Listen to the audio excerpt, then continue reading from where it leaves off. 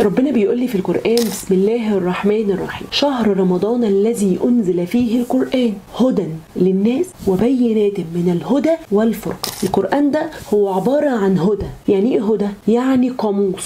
يعني إيه قاموس؟ يعني أنا مثلا أنت ماشية في طريق أو أنت ماشي في طريق. أنت عارف إن أنت عايز توصل لإيه. بس أنت مش عارف الطريق تمشي إزاي. طب أنا أدخل الشارع ده ولا أدخل الشارع ده؟ طب يا رب أطلع فوق ولا أنزل تحت؟ طب أعمل إيه؟ أهو القرآن بقى جاي لك في رحلة الدنيا اللي إحنا فيها علشان إيه؟ عشان يقول لنا.